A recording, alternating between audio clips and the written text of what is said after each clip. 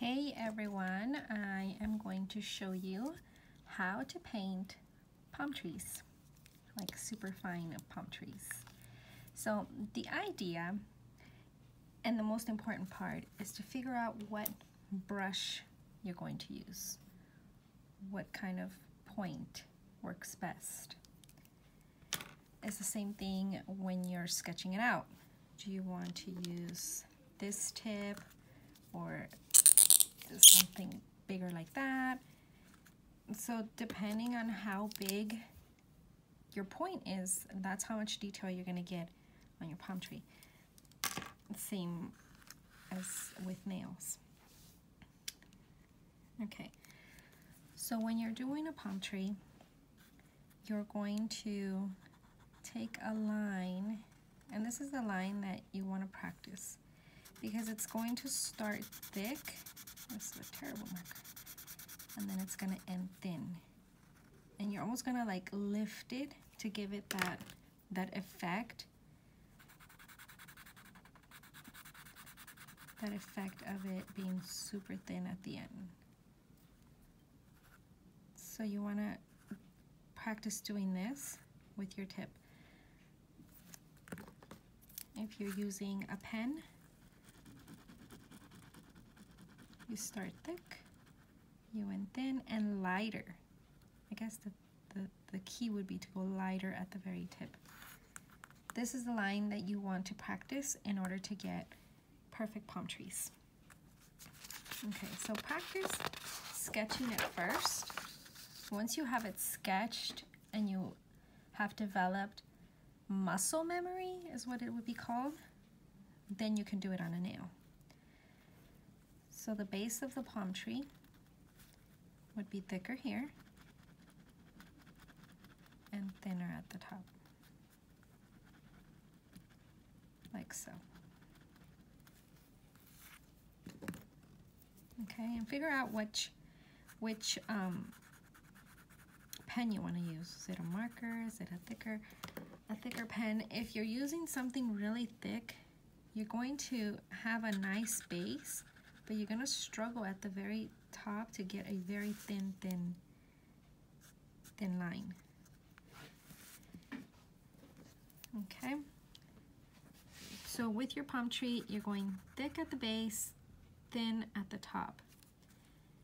Thick at the base, and thin at the top or bottom, which in this case will be the bottom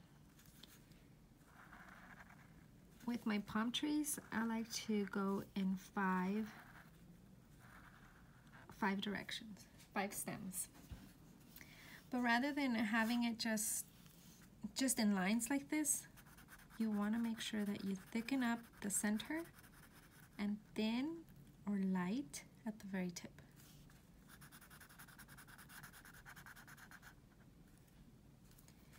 For the leaves, it's the same exact thing. You're to start thick and thin, thick and thin.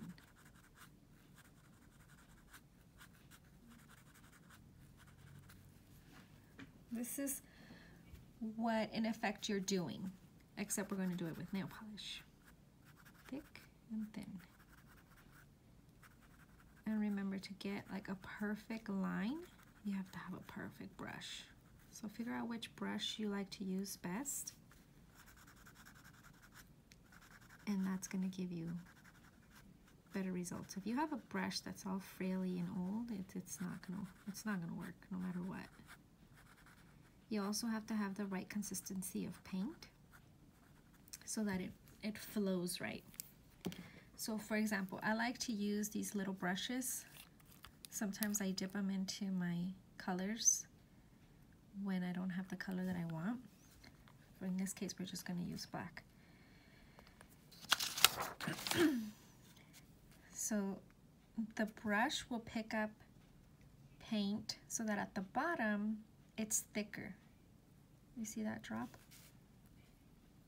You're going to place it down and then go thinner and almost like up.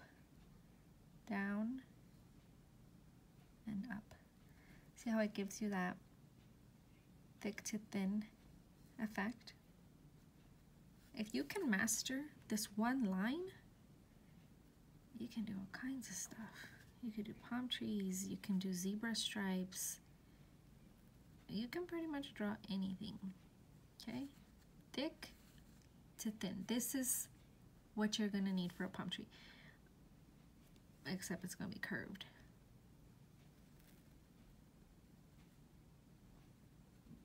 Like so. And then for your leaves, thick to thin. And you're gonna almost let the brush do the work itself.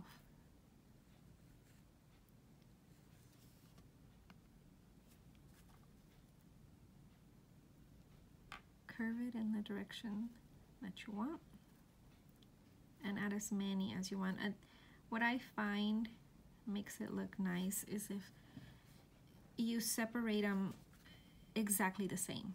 So like here, they're a little clustered together, where here they're a little bit more separated. This works as long as they're all the same. So I can't start like clustered and then separate them because then it looks weird. Okay?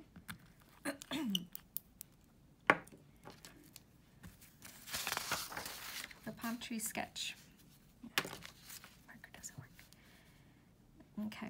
Mm, I want you to be able to see the thick to thin effect.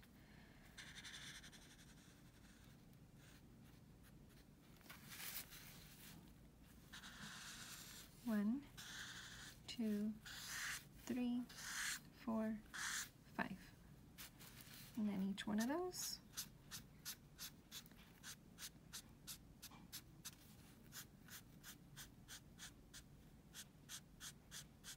It's gonna go all the way around. And it seems like it like it's gonna take a long time, but muscle memory. The more you do it, the, the easier it becomes sketch it on paper first, master it on paper, and then you'll be able to do it on a nail. Sometimes what I like to do on the nail is add a, a little like base and add maybe a few little branches there. Your birds, same thing, thick to thin, thick to thin.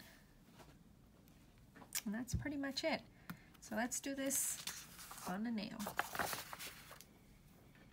So we're going to do a nighttime one first. Uh, I did my gel color for um, ombre.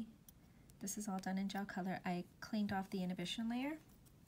Whether you're painting with gel color or with lacquer like me, you want to make sure that you remove that inhibition layer, especially when you're doing fine detail. Otherwise, it, it tends to like bleed. Very, very little, but it still, it still bleeds. Okay, so I'm gonna start, oh, sorry, I'm shaky. I'm gonna start at the base first. Thick to thin. This is going to be a silhouette of a palm tree, which is one of my more popular designs that a lot of my clients get because they can combine it with any color.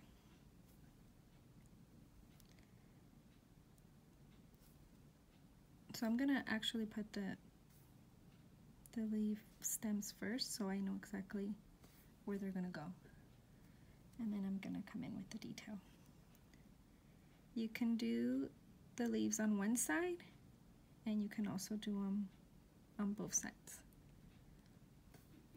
It's a little hard to see on, on this color, but I'm gonna do a daytime one also so you can see so you can see it better.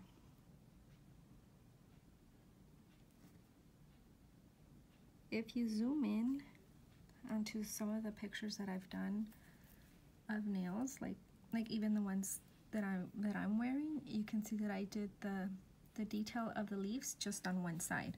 So depending on how long the nail is, on this one I was able to do both sides, but if you're working with a really short nail, you really need that that detail of the of the leaves, of the palm leaves on one side. Like so. Okay, so to do a daytime palm tree, didn't get my colors ready. Um, we're going to work with brown for the stem and we're going to work with green. If you wanted to, you can add little clouds first, which I'm going to do to give it some dimension.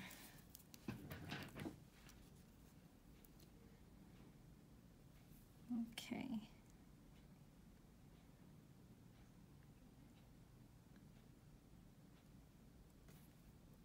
Happy little clouds.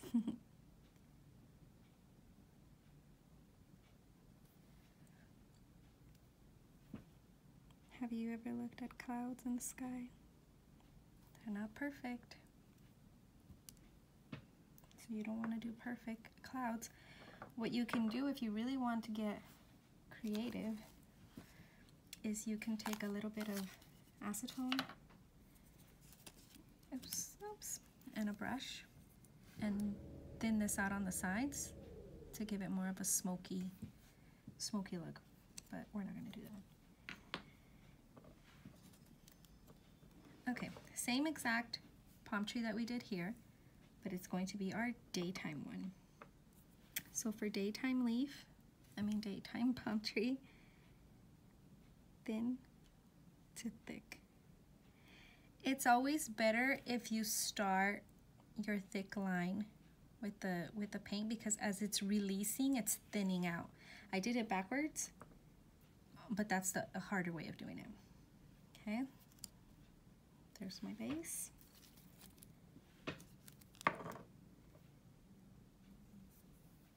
I'm going to do my palm leaves One, two, three, four, five.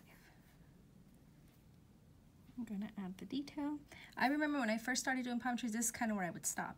There's your palm tree. Have a nice day. so the more, the more you do it, more you will challenge yourself to add more detail. So this is the palm leaves. And I did the, the little leaves just on one side of the stem. Less detail.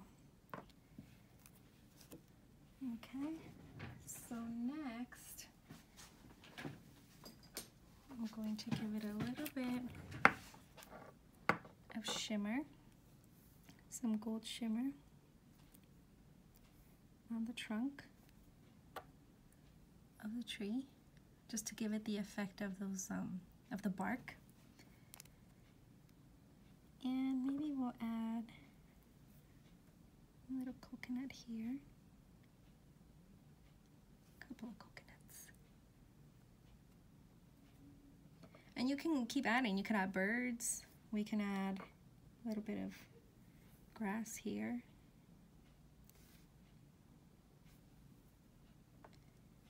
And this is your daytime palm tree. So I'm gonna let this one dry for just a second. Meantime, I'm going to top coat with gel color top coat on this one. So even though I did my painting in lacquer, it's already dry to the touch. I can cover it with gel color top coat. And if you want a little bit more detail, again, the same glitter that we added to the daytime palm tree can be added to the nighttime one, maybe in silver. Maybe you can add two little crystals in the center. I have one picture um, in my Instagram that I did that.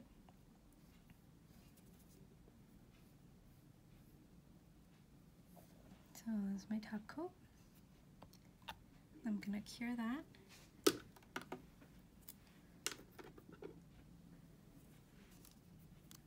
I'm gonna check on this one. It's still a little teeny bit wet.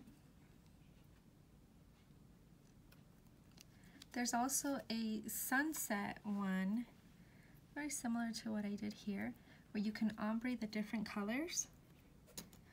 Mm. maybe we'll do it on this one. So rather than a sunset, we're going to do a moon. A big full moon in the back. So we're going to do a half circle here.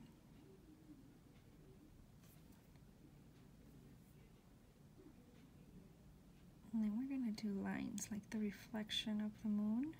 Oops.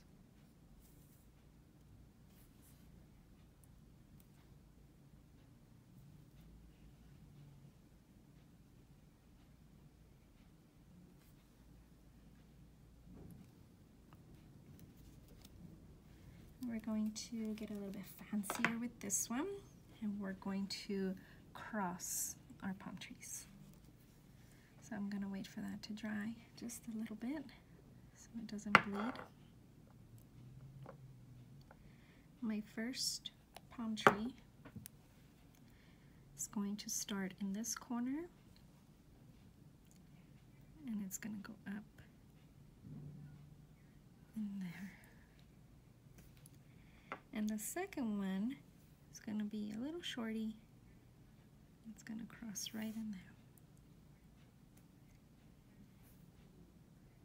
and I'm used to working fast so sometimes you don't see it but if you look closely there's still that thick to thin line. You can also do the line first and like I did go back and thicken it up a little bit at the at the bottom. Let me see if I can zoom this more. Okay. One two, three, four, five. One, two, three, four, five. And then the detail. Again, I'm only going to do it on one side. If you could do it on both sides, like I said, I would do both sides if I'm working on a longer nail. But if it's a if it's a shorter nail and you add it to both sides, it, it, it starts to like blob together, if that makes sense. You still want to see that there's five stems coming out of that palm tree. I'm gonna add a little bird here and another one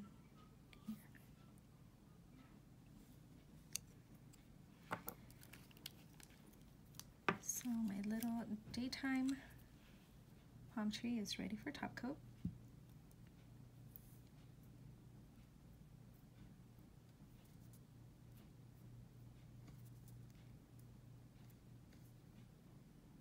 And I'm going to cure that for 30 seconds.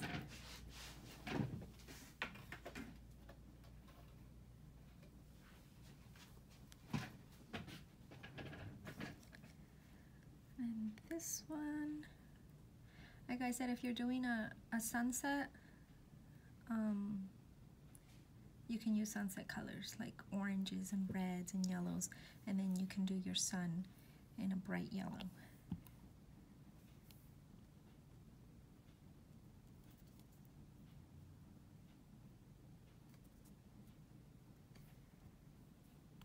And top coat.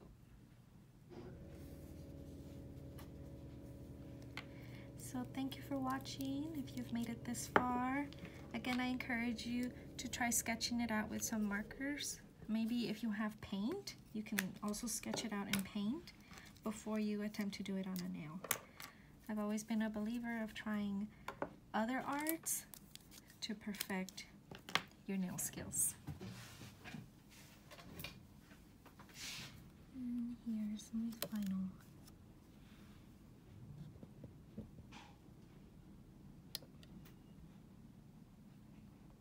Thank you so much.